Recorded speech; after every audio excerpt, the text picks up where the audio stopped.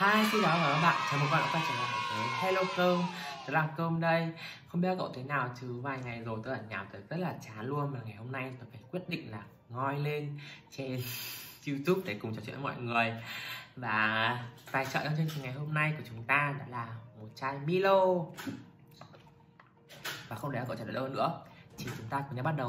Thôi như các bạn đã biết thì uh, tớ cũng sở hữu một làn da hôn trên dầu và tớ cũng gặp những cái vấn đề về da ví dụ như là lỗ chân lông to uh, lượng dầu tiết ra nhiều uh, rồi uh, mụn rồi thâm mụn các thứ. Uh, và tớ cũng đã từng làm những cái video giới thiệu những cái sản phẩm uh, dành riêng cho các bạn da dầu mụn uh, về các sản phẩm làm sạch các sản phẩm dưỡng ẩm rồi. Thế là ngày hôm nay thì tớ muốn review cũng như giới thiệu cho các cậu hai cái sản phẩm serum dành cho các bạn da hỗn hợp thiên dầu giống như tớ và da dầu mụn ờ, có thể tham khảo để sử dụng thử. Ở đây là những loại serum mà tớ đã từng sử dụng rất là nhiều lần và cảm thấy rất là tin tưởng. Nên là tớ muốn giới thiệu ngay cho các cậu. Không để cậu chờ đợi lâu hơn nữa thì chúng ta cùng nhau bắt đầu thôi. Sản phẩm đầu tiên mà tớ muốn giới thiệu cho các cậu đó là em Body Shop T3 Anti-Perfection Daily Solutions. À, sản phẩm này là sản phẩm thuộc dòng T3 của Body Shop. À, đây là một cái dòng sản phẩm mà có lẽ được PR trên channel tớ rất là nhiều mặc dù là tớ không nhận bất cứ đồng nào của Body Shop cả nhá. Tuy nhiên đấy thì tớ thực sự là yêu thích cái dòng sản phẩm này. À, và có thể nói đây là cái sản phẩm mà tớ yêu thích nhất trong cả cái bộ sản phẩm này luôn. À, tớ biết đến sản phẩm này lên từ 2 đến 3 năm về trước khi mà tớ lúc đó vẫn chỉ là một thằng chưa biết skincare là gì chỉ biết mua những cái sản phẩm sữa mặt ở ngoài siêu thị ấy và khi mà bạn tớ giới thiệu tới cái sản phẩm này thì lúc đấy là như kiểu là khai sáng cho cả cái con đường skincare ở sau này luôn. Và đây cũng là cái sản phẩm serum đầu tiên mà tớ được sử dụng. Nên là khi mà nhìn vào thiết kế bao bì của sản phẩm này ấy, thì tớ thực sự là bị thu hút rất là nhiều luôn.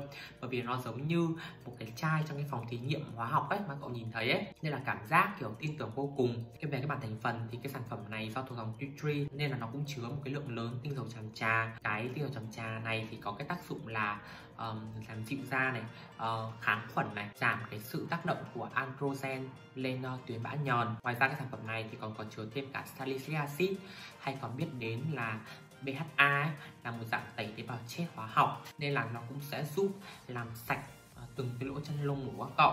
Tớ thường sử dụng sản phẩm này buổi tối và mỗi lần tớ sử dụng ấy thì tớ mở nắp ra và chỉ cần như này nhỏ nhỏ vài giọt cho tay như thế này nó rất là tiện luôn. Khi mà mở nắp ra phát là cậu ngửi ngay thì cái mùi chàm trà nó rất là nồng nặc ở trong này luôn. Nên là sẽ cảm giác là cái lượng tinh dầu chấm trái nó rất là nhiều ở trong chai dung dịch này. Khi mà apply cái sản phẩm này lên da thì công thấy là cái sản phẩm này ấy nó uh, thấm rất là nhanh trên da của cơm chỉ trong vòng một đốt nhạc thôi là cảm thấy là da rất là thông thoáng cảm giác như là chưa sử dụng một cái sản phẩm nào.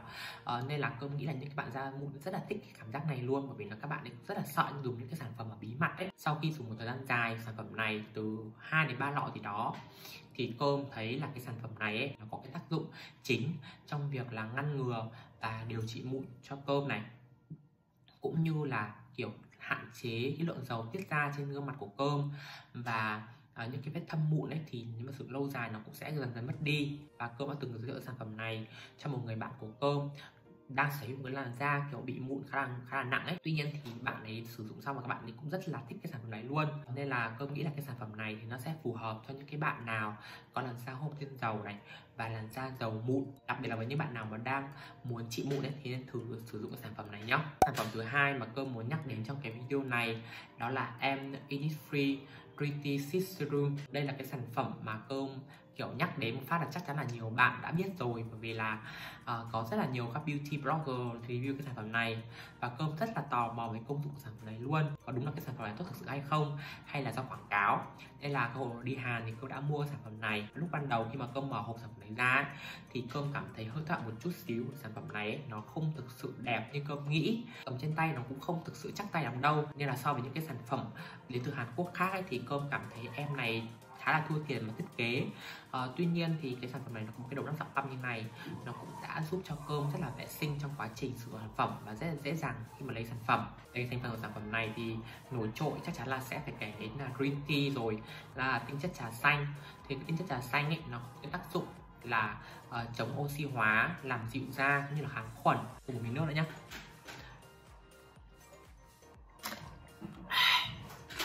Tăng năng lượng ngoài ra thì cái sản phẩm này ấy, chứa rất là nhiều những cái tinh chất đây các loại quả thiên nhiên ví dụ như cam quýt này nho có tác dụng là làm xe kết lỗ chân lông cũng như là nuôi dưỡng cái làn da của chúng ta từ sâu bên trong. Cái sản phẩm này thì uh, uh, cơm thường sử dụng buổi tối và cơm cũng lấy khoảng 5 6 giọt thì đó cho cả một vùng cổ. Sau khi mà apply lên mặt thì các bạn sẽ ngửi thấy một cái mùi hương kiểu hơi thoang thoảng nhẹ, trà xanh nhẹ nhàng thôi, không bất cứ vấn đề gì cả.